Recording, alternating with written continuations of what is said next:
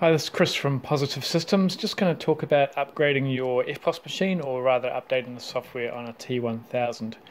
It's pretty simple. Um, what you do is you turn the machine on.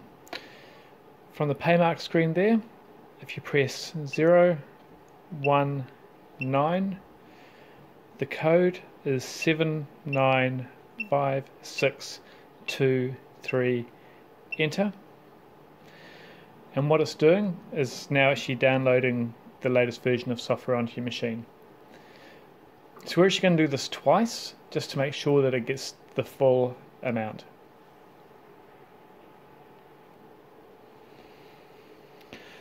Okay, so it's still downloading now. It takes about five minutes in total to do the whole process. Um, this is um, probably one of the last files we'll be downloading on, on this run. Um, and you can see it's actually got quite a lot of uh, data to download. So in this case here, I've actually plugged it into the internet using the, the white cable supplied with the machine. So that goes into the LAN port on the back of the machine. So when it's finished doing its first download, it will restart. Um, so your machine will turn off and it will restart and it will come back to the main Paymark menu. So it's got 10, 10 files loaded in that case and here is repairing.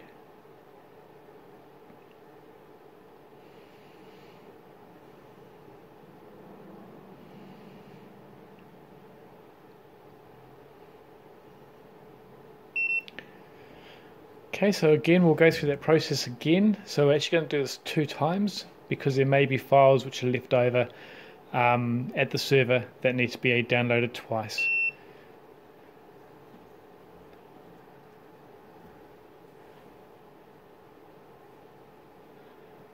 Okay, so again it is 0, 1, 9.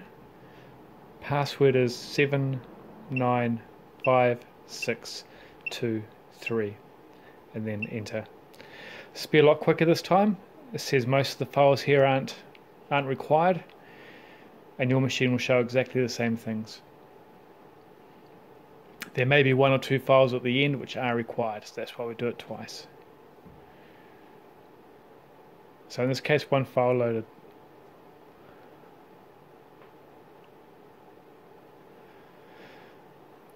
Okay, after you've done this, we're going to get you to give us a call because um, we actually need to do something something else with your machine as well in regards to updating the key set, um, and that helps Paymark realize that your machine's up to date, so you won't be getting those emails from Paymark anymore. So you need to give us a call. Our telephone number is 0800 888847 and you will need to give us your terminal ID number at the same time. You'll find your terminal ID number at the top of a an EFTPOS receipt. Um, so if you can see that, my terminal number here is that 24693206 number.